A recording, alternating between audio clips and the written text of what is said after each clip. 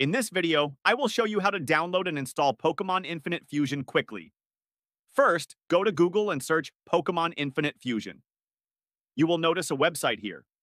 Click on it, view the ad, and scroll down the page. You will see the available versions for download on this section. Select the appropriate one for your system. In my case, it's for Windows PC.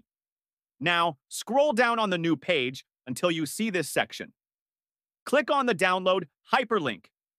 You will be taken to this site, click on the download button, and wait for the download to complete as it is a large file.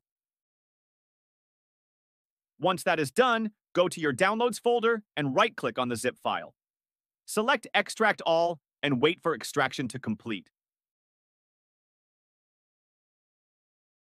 You will need a zip extractor like WinRAR if you are not using Windows 10 or 11. The folder will automatically open up.